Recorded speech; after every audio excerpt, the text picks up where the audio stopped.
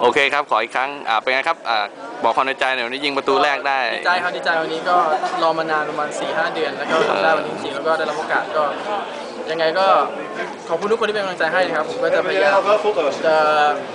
ทำงานต่อไป working ต่อไปซ้อมต่อไปทำหนักต่อไปเพื่อเพื่อที่จะให้ตัวเองยังไงก็ขอให้ทุกคนเป็นกำลังใจให้เหมือนเดิมครับรับรองครั บ ใช้เท้าซ้ายวอลเล่ได้สวยนะครับครับอ่าเท้าซ้ายวอลเล่ครึ่งหลังครึ่งหลังยิงครึ่งหลังยิงขึ้นสนามก็น่าเข้าด้วยก็อ่าน่าเข้าเรียกเสียงคือฮาได้เยอะอ่าแรงเบียดจังหวะสปีดเนี่ย เยอะเหมือนเหมือนเหมือนเดิมที่เคยเคยเล่นได้ดีมาแล้ว เริ่มเริ่มกลับมาสภาพเดิมแล้วก็ก็เริ่มมั่นใจมากขึ้นครับ แล้วก็ถ้ามีโอกาสก็จะเอาอีโอกเคครับ ขอบคุณมากครับ